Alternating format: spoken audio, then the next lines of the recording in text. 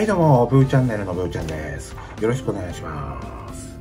えー、今回あんまりね、えっ、ー、と、気持ちいい話ではないんですけど、昆虫食についての話ちょっとしようかなと思います。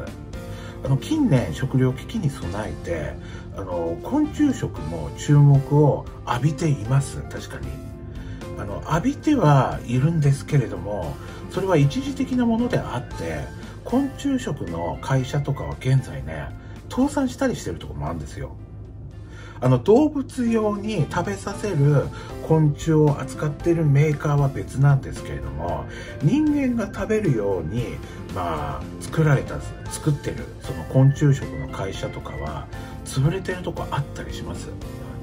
まあ昆虫食べるという理由がね栄養価高くて将来食糧危機になった時にそれに変わるのが昆虫だっていう話なんですよね。まあ分かる話ですよ。分かる話ですけどあの私前からこれに対してね疑問っていうか引っかかることあったんですよ。あのこれあくまで私の持論なんですけれども人間ってさこれまでたくさんの生き物とかを食料として、まあ、食べてきたよね。あの見た目が独特なウニとかタコとか、まあ、栗とかだってそうだよね。あんな意外がついてるもの、うん、あのそういったものでも、まあ、食料となってます。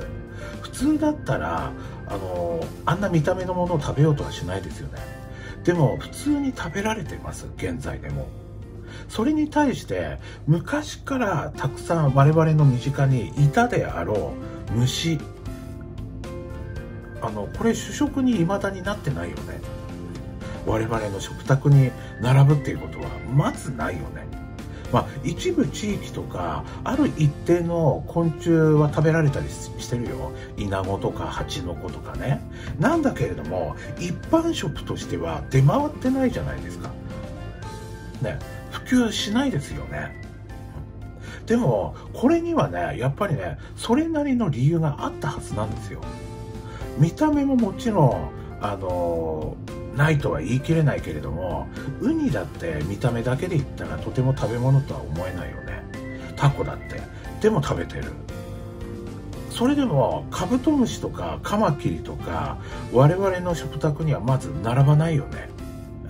ということは人間が食べるのには食用にするに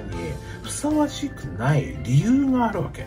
だからあのー今後食糧危機に陥ったとしても昆虫がこれまでの食料にとって変わることは今後も私考えにくいと思うんです。せいぜい何かの罰ゲームとかで食べるとかっていうのはあの今でもあるよ。あるけれどもまあ下手物食いって感じでね言い方悪いけどだからいくらね未来のことを熱く語って昆虫食を推進してもこの事業が将来的に成功するとは思えないんですよね私。あと我々が今日食べているいろんな食材がもしもしだよ食糧危機に陥ってなくなってしまったとしたらそうなるとそれと比例してさ私昆虫もいなくなると思うんですよ。例えばさあのー、どれからあげればいいかな。うんと蝶蝶の幼虫の青虫とかってあれキャベツとか白菜とか葉物について葉物食べるよね。じゃあその我々が普段食べてるキャベツとか白菜がなくなったら当然それを食べて育つ昆虫もなくなると思いません？普通に考えたら。あのキャベツとかだけがなくなって昆虫だけが増え続けるなんてありえないと思うんですよ。当然さあの食物連鎖の過程でその腸が少なくなると腸とかを食べているカマキリとかクモとかも当然少なくなっていずれ死滅するわけですよ。あのイナゴとかだって稲とかがなくなっちゃったらイナゴとかだって食料なくなって数激減するんだろうって。だから結局のところ食料がなくなっても昆虫はその代わりにはならないと思うんです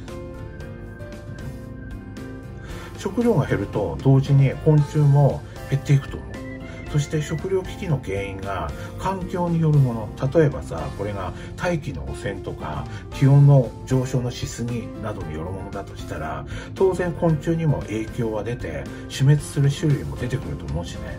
だからこれ極論なんですが、昆虫食はどうあがいても我々の今日の食料の代わりにはならないんじゃないかって思いますよ。ただ栄養価が高いというだけでは主食になることはないと私は思います。